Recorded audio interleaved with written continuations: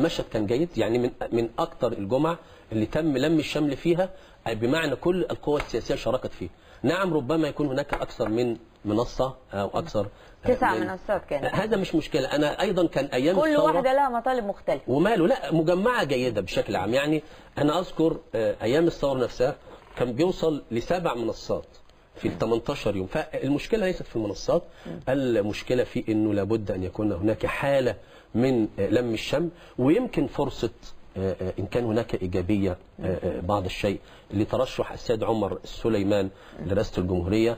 آه، هذا الترشح جعل القوى السياسية تتأكد أن هناك خطورة بالغة على الثورة المصرية. ومن هنا دعوا إلى حالة التوحد دعوا إلى حالة الوقوف صفا واحدا ضد ترشح الفلول ولعل القانون الذي أصدره مجلس الشعب يسير في هذا الاتجاه. ففكرة أنه الجمعة جاءت من أجل مطالب فئوية أو مطالب خاصة لبعض القوى السياسية أنا أعتبر أن هذا جنبه الصواب. آه، الحقيقة هقرأ لحضرتك آه، اسمحوا لي اقرا لكم ملخص. طبعا مشاهدينا هتشاركونا كده من أول الحلقة بتعليقاتكم ويمكن أنتوا اللي تطرحوا الأسئلة بدلا مني آه، لكن آه، آه، من غير امضى هنا بيقول لي استني همضي محبة ليكي وما مضاش اسمه.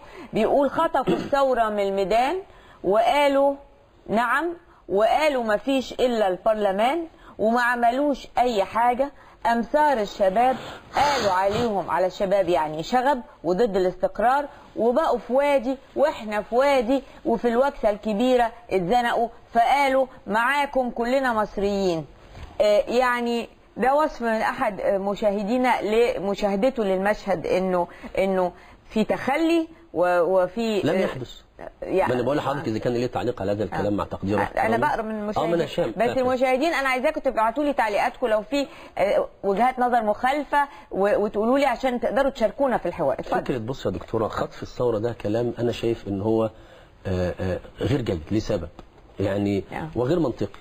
يعني آه، أنت لم تعلمي تخطف الثورة. لا لم تخطف بمعنى آه، آه، هو ربما هو يقصد أنه بعض لا القوى ال ال يعني التيار الإسلامي. إذا آه، كان إخوان مسلمين أو أنا ما أنا أقول إنه في في. في, آه. في قصدي هو غير مقبول لسبب.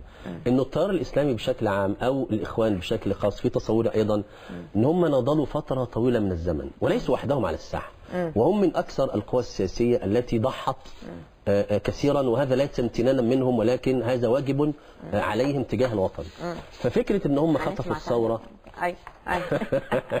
زي العسل الاستاذه والعز ففكرة ان هم خطفوا خطفوا الثورة هذا كلام يعني آه، آه، لابد إن إحنا نضع المسائل في نطاقها. ما ما بقاش كلام الحقيقة البعض بيحاول يصور المسألة آه، آه، إنها آه، آه، الإخوان دولت أو الطريق بس في الاسلامي صوت في الشارع بيقول كده. وماله محترم. أنا بقول يعني هو بص يا دكتورة هلا في نقطة مهمة جدا. يعني أنت لا تستطيعي بيقولوا خطفوها خطفوها وخدوا الأغلبية في ما أقول البرلمان لحضرتك لسببين. آه. السبب الأول جزء على الإخوان وجزء على الشأن العام والإعلام. آه. الإخوان آه، أحيانا كثيرة لم يعلنوا عن ما يقومون به. يعني على سبيل المثال اللجان التي تعمل في مجلس الشعب الآن بتعمل عمل في قمة الروعة وعمل ضخم جدا وبيشتغل شغل كويس. 19 لجنة الفرعيه أنتوا في اللجان ولا مش في اللجان؟ أكيد طبعا. أكيد هم أعضاء؟ أعضاء في اللجان. حضرتك في لجنة إيه؟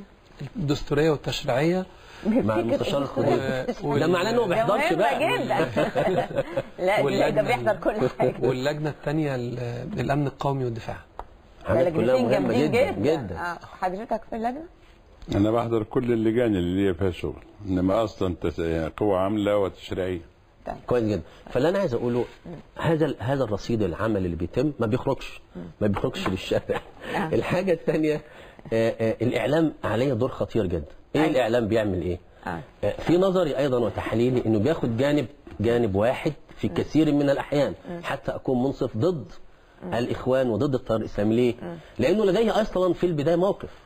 هو ال- الكثير من وسائل الإعلام لديها موقف مسبق من التيار و- وإنه آه، يقولون دائما أنه استحوذ وسيطر وهيمنة وكوشة ها؟ كل هذه المعاني غير أصلا موجودة في الواقع. الواقع الموجود والحقيقي هو أنهم موجودين في جزء من السلطة التشريعية.